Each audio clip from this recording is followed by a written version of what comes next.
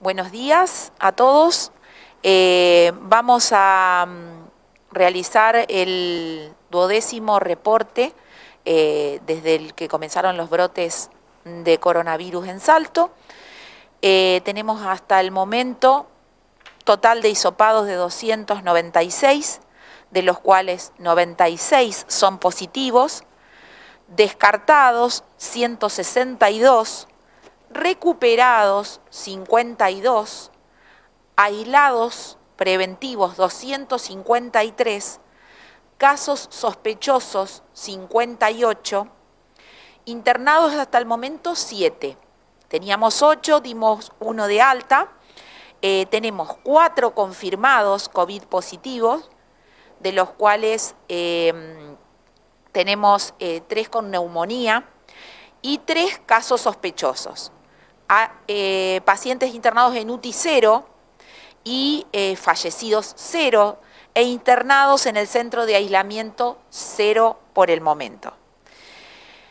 Bueno, ¿qué tengo para decirles hoy? Digamos, una de las cosas que nos ha ocupado intensamente toda la semana eh, tiene que ver con el último brote que tuvimos, que es el brote de la, de la empresa Soichu.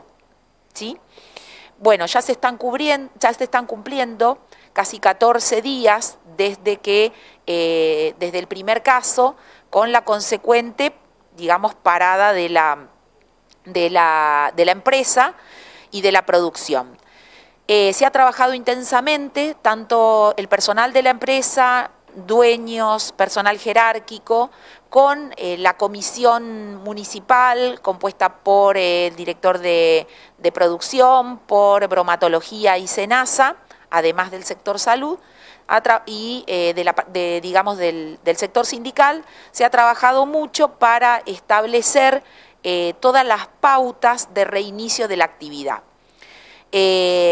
estamos terminando los últimos detalles para justamente poder poner en funcionamiento nuevamente eh, la empresa a partir del día lunes, ¿sí?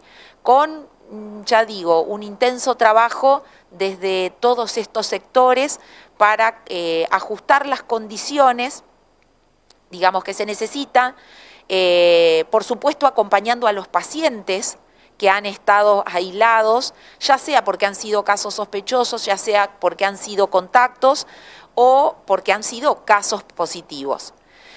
Eh, y, acá quiero hacer un pedido muy importante a, eh, toda la población y eh, cuando digo a toda la población incluye a todos los trabajadores de la empresa. es muy importante la actitud personal, el cuidado personal eh, que uno tenga en esta situación. Podemos hacer mucho desde la autoridad, podemos hacer un montón desde la empresa, pero también necesitamos el compromiso de cada uno de los trabajadores, ¿sí? en su lugar de trabajo y fuera de su lugar de trabajo. Porque ¿qué tenemos que decir? Que tenemos muchísimos casos positivos que no son de la empresa, son familiares de los trabajadores de la empresa que se contagiaron en sus casas. Y no solo los convivientes, porque uno tendría que decir, bueno, un trabajador fue a su casa y pudo haber contagiado, por ejemplo, a su esposa y a sus hijos. Pero acá tenemos esposa, hijo, abuelo, primo, vecinos. Entonces, ¿qué quiere decir?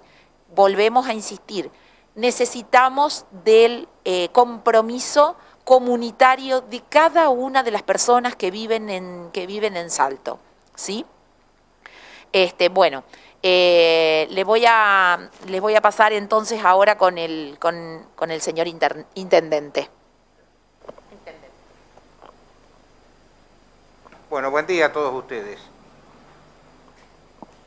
Yo creo que estamos en un momento demasiado importante para nuestro pueblo. ¿Por qué digo momento muy, demasiado importante? Porque ahí la doctora Rebotaro ha planteado, ha dado una lista de, de lo que está pasando en nuestro, pueblo en, este momento y la situación deja mucho que desear, deja mucho que desear porque hay mucha gente que está contagiada y el trabajo de la municipalidad y fundamentalmente de este comité de crisis ampliado, con el agradecimiento muy especial a Senasa, a Deportes, a las estaciones, eh, a Desarrollo Social, a Educación, etcétera, etcétera, ha sido muy importante y ha sido denodado. Pero realmente yo quería dejarle un mensaje, tal vez estos mensajes, di una vez este mensaje y no me fue muy bien, que fue en Navidad y año, y año Nuevo, de hace dos años atrás, que realmente las cosas no fueron como uno quería que fueran, pero ahora está pasando algo muy especial. El domingo, el domingo pasado, eh, tuvimos mucha gente en la costanera, mucha gente en el Salto de Agua, mucha gente en el Molino Quemado, mucha gente en la Plaza de la Memoria, que nosotros de una u otra forma no la cuestionamos. Lo que sí cuestionamos es la moderación de esa gente. ¿Por qué digo la moderación? Porque si hay un grupo de 10 personas y hay un mate de por medio, un solo mate, eso no es bueno. Realmente no es bueno porque el mate es un factor de contagio. Y nosotros anticipándonos un poquito a lo que va a ser el día de el día del amigo, que va a ser el día domingo, o lunes o sábado, le pedimos especialmente a la juventud que sea moderada. ¿Qué quiero decir que sea moderada? Que se cuiden. Fundamentalmente que se cuiden porque cuidándose ellos, cuidamos a nuestros mayores, cuidamos a, los de a todos nuestros abuelos, cuidamos a, la, a, los, a las personas en, en riesgo, que están en riesgo, y cuidamos a todos en general. Por eso, un mensaje muy especial para que el Día del Amigo sea un día, un día sano, un día alegre, un día que se pueda compartir, pero no compartir un mate, compartir con aquellos que consideramos amigos y que nos cuiden. Yo también estoy, soy un adulto, un adulto mayor. Que nos cuiden a todos nuestros adultos mayores, porque realmente la situación no es de la mejor. Pedimos sobre todo, vuelvo a repetir, moderación en todos sus actos. ¿eh? Después queda a cargo de cada uno, pero la situación, estamos, yo no sé si estamos en el pico de la pandemia, pero estamos en, estamos en la pandemia. Y esto implica una serie de, cuidados y una serie de riesgos que nuestro pueblo lo tiene que entender. ¿eh? Gracias. ¿eh?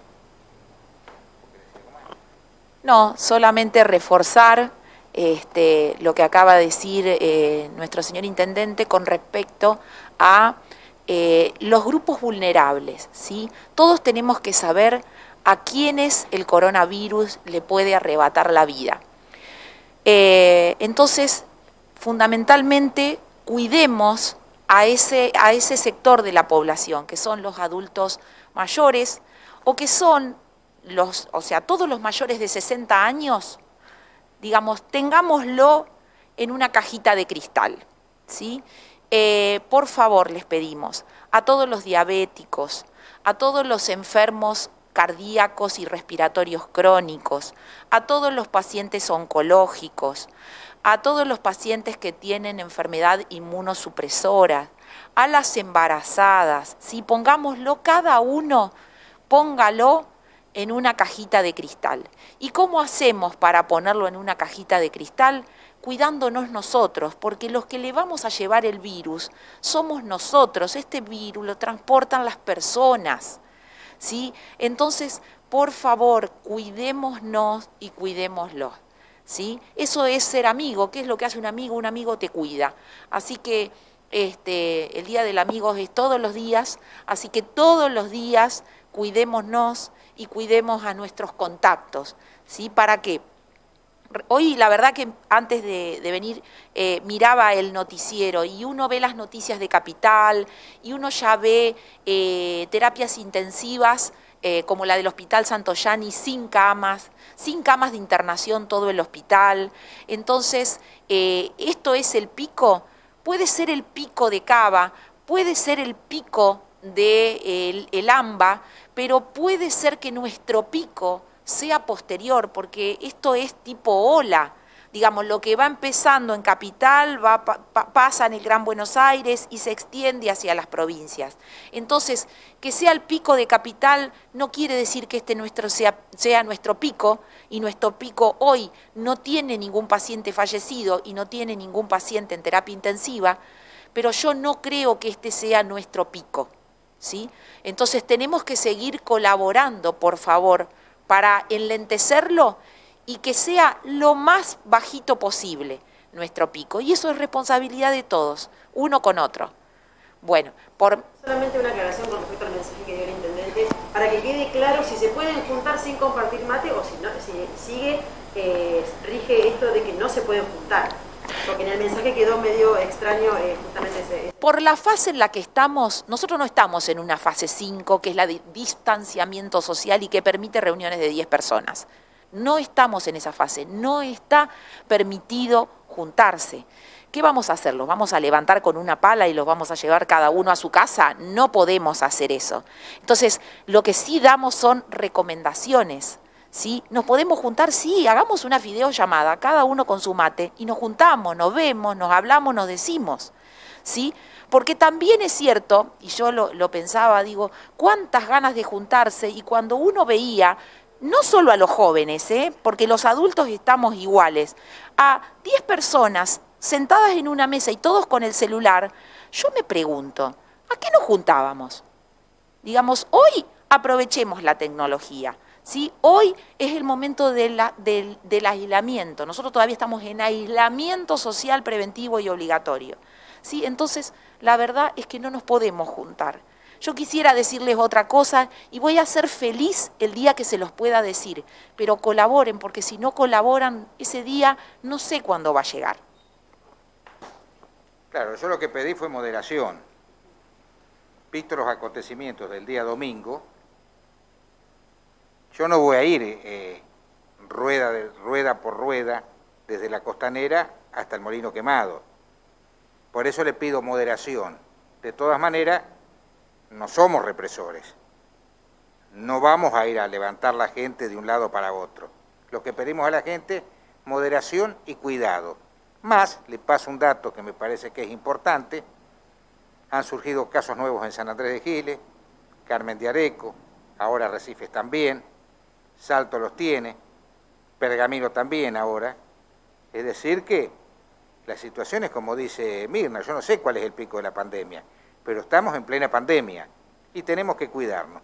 Y vuelvo a repetir, moderación, cuidemos a nuestros, a nuestros adultos mayores y trabajemos todos juntos. Esta es la solidaridad que le pido al pueblo de Salto en momentos tan importantes que se, está que se están viviendo y en momentos tan difíciles para nuestro país, para nuestra provincia y para nuestro pueblo también. Que se haga carne en los más jóvenes. Le pedimos a los más jóvenes que nos cuiden. Nosotros estamos dando todo. Este ha sido una, una, un comité de crisis ampliado. Está trabajando SENASA con nosotros y todas las otras fuerzas que dijimos. Pero si no nos cuidamos es imposible. Por eso les pido moderación nuevamente. ¿eh? Gracias por escucharnos.